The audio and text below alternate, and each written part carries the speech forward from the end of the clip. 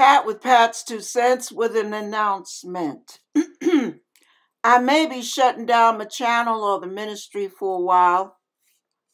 I am sick of YouTube nitpicking over stuff. I try to do an encouraging video and they want to put restrictions on it.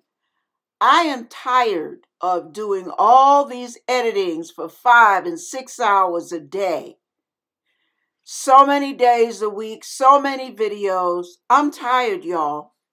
Now, my question to you is if you think this channel or this ministry is worth your time, let me know by sharing it, helping the channel grow. I'm not going to do anything for a while. I'm going to have my little Saturday church services and I'm done. I may not even bother uploading those videos. Whoever comes, comes. Whoever doesn't, doesn't.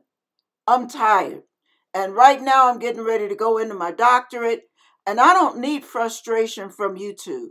So, what I'm doing is I'm putting a tester out there. I'm not going to make an emotional decision because, as emotional as I am, that's never a good thing. So, I'm leaving it up to you, and I'm leaving it up to God to show me if this channel has been worth my efforts or if it's really just a waste of my time. So I need you guys to let me know. Now, I'm not going to be responding to comments. So if you want to leave comments, I'll read them in a couple of days. But right now, I am too through with the whole kit and caboodle. I'm tired. I'm wearing myself out.